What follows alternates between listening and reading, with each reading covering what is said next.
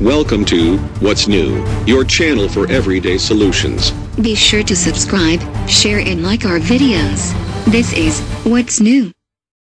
Evolution of nose shape was guided by climate. By Tim Newman. In a first-of-its-kind study, a team of researchers from Pennsylvania State University recently gained new insight into the shape of the human nose. The climate that our ancestors evolved in appears to play a role in the width of our noses. A new study investigates the links between nose size and climate. Our noses are arguably the most prominent feature on our faces, and, although some people's noses are more prominent than others, their shape and form is unique to humans. Our noses carry out a number of important roles. Other than the obvious task of shepherding air and aromas into our head, it conditions the air we breathe, ensuring that it is warm and moist by the time it reaches our lungs. The nasal cavity also helps to prevent infections. Hairs trap larger particles and pathogens that we inhale and sticky mucus traps other unwanted visitors and microbes. The captured debris is then cleared away by tiny hair-like structures called cilia. The shape of your nose is, of course, dependent on the shape of your parents' noses and their parents' noses, and so on. Is there something else driving the variation seen in nose shapes across the world? Nose shape investigated. As far back as the 1800s, Arthur Thomson, a British anatomist and anthropologist, pointed out that long, thin noses tended to occur in colder, drier regions, whereas shorter, wider noses more often appeared in hotter, more humid areas. This rule is now referred to as Thomson's nose rule. Although the rule is well established, it was not clear whether the differences arose as a response to selection pressures, or whether it was simply due to genetic drift, chance mutations, conserved without any particular survival benefits. Thomson's nose rule has previously been examined by studying skulls but, for the first time, the theory has been tested using live humans and 3D facial imaging. Researchers set out to uncover whether nose size evolved as an adaptation to climate. The team, led by Arslan Zaidi and Mark Shriver, examined people of West African, East Asian, South Asian, and Northern European ancestry. Their results are published today in PLOS Genetics.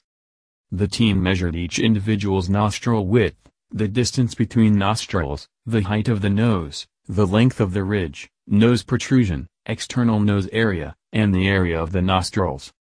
Once the 3D data had been analyzed, the team concluded that the width of the nostrils and the base of nose measurements across these regions could not be explained by chance alone. They also found that wider nostrils correlated with populations whose ancestors evolved in warmer, more humid regions. This suggests that climate was a driving factor in the evolution of nose shape. Why does nose size matter in colder environments? The theory is that narrower nostrils alter airflow in such a way that the mucus-covered nasal membrane can warm and humidify incoming air more efficiently.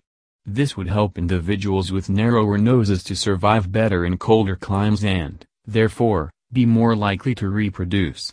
Over time, this would have slowly driven nose size down. Of course, climate is not the only factor that has had a large impact on the evolution of a nose. For instance, Cultural preferences for nose shape are thought to play a part. If a certain culture finds larger noses attractive, then individuals with genes that prescribe a larger nose are more likely to breed and spread their large nose genes to the next generation. Even though there are substantial differences in nose shape among human populations, much of this variation can be explained by random genetic drift alone. This finding is in line with the consensus that most human variation is shared among populations and primarily due to genetic drift. Traits like skin pigmentation and nostril width are exceptions rather than the rule. Arslan Zaidi The current findings are fascinating in their own right, but they could also have implications for medicine. Knowing how humans adapt is essential for understanding certain diseases and conditions. For instance, lactose intolerance, sickle cell anemia, and skin cancer are more prevalent in some populations.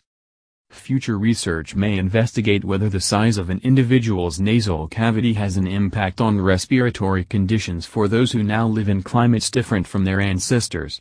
As Zaidi says, These traits are important to study because they are likely tied to our health, especially as we become more of a global community and migrate to new climes. Welcome to What's New, your channel for everyday solutions.